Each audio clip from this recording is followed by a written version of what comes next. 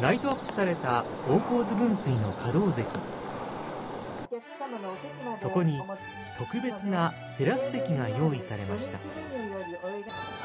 100周年を記念して行われたプレミアムキッチンです。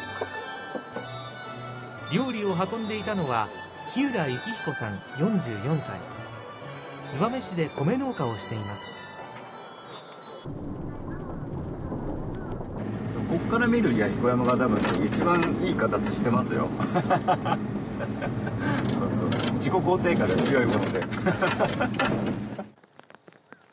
黄金色に実った稲穂。間もなくやってくる本格的な稲刈りシーズンを前に気持ちが高ぶります。本当稲刈りね通信簿みたいなもんですからね。あの僕が今までやってきたことの結果が出るんでね。はい。まあ、良くも悪くもみたいな。ドキドキハラハラですね毎年。はい、日浦さんは米農家の27代目です。一昔前この辺りの田んぼは今では想像できない姿をしていたといいます。もうちょっと新米ですからね。もうここら辺新潟県内で一番取れない米が取れない地域だったらしくて本当にいい田んぼを残してくださっててなんとか守り抜いてくださったっていうのがね。越後平野の稲作は水との戦いの歴史でした。信濃川はかつて3年に1回の割合で氾濫。暴れ川と呼ばれるほど多くの洪水を起こしていました。こちらは当時の越後平野を写した写真です。水はけが悪く船などを使って米作りをしていました。膝まで水に浸かっての稲刈り。3年に一度収穫できればいいなどと言われできた米は鳥さえもまたいで食べずに通ると揶揄されていたといいます。日村さんの田んぼは信濃川から6キロほど離れています。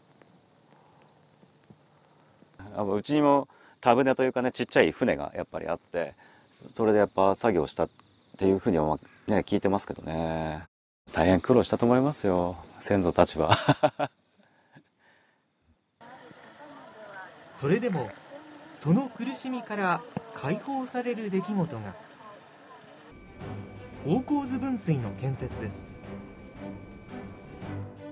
延べ1000万人を超える人が携わり東洋一の大工事と呼ばれました。山を掘り進めた際に出た大量の土。実はこの辺りの米作りに重要な役割を果たしました。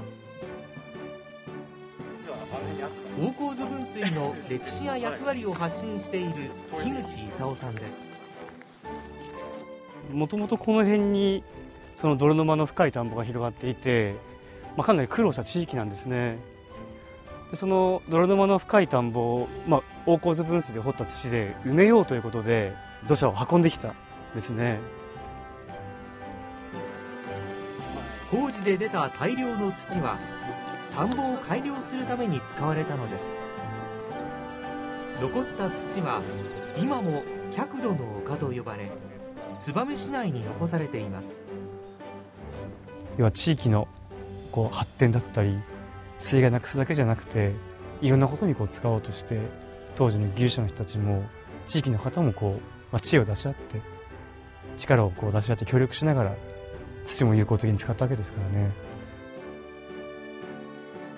そして1922年人々の悲願だった大河津分水は完成しました。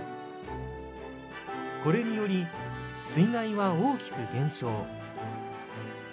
田んぼ1枚あたりの米の収穫量は大河津分水ができる前と比べて3倍ほどに増えました。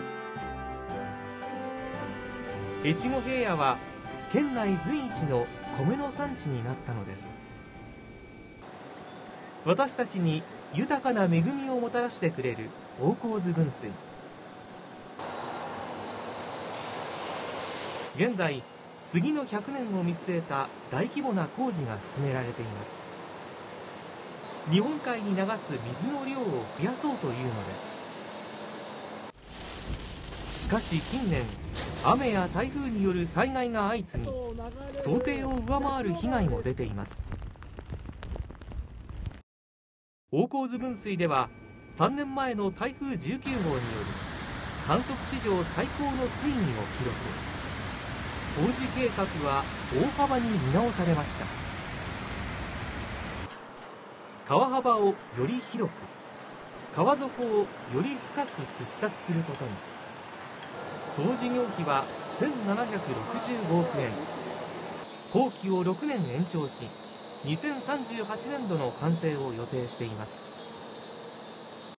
気候変動で豪雨災害の方もレベルアップしていますので今大河津分水路もレベルアップする必要があるという時期に来ています。次の100年もしっかり大河津分水が新潟の町を守っていけるように取り組んでいきたいと思います。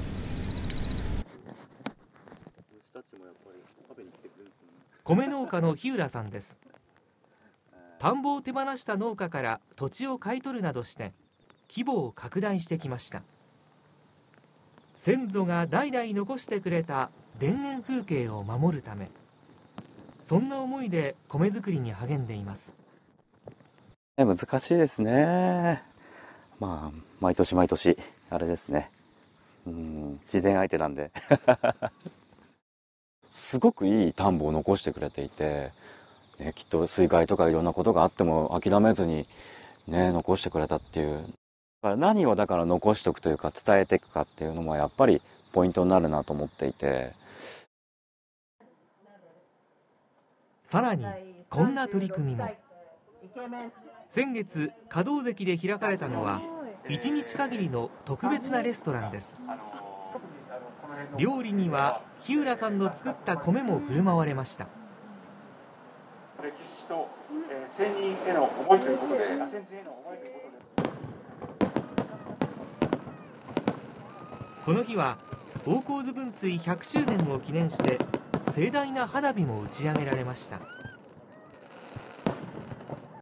もう100年ね、続けられるような形をどうにかして作っていきたいなと思っていてその先祖の努力というものをまたつなげていくっていう。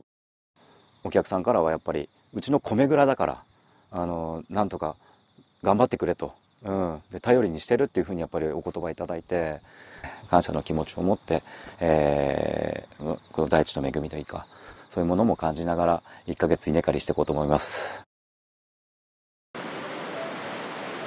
先人たちが命を懸けて建設した大河津分水越後平野に多くの営みを育んでくれました。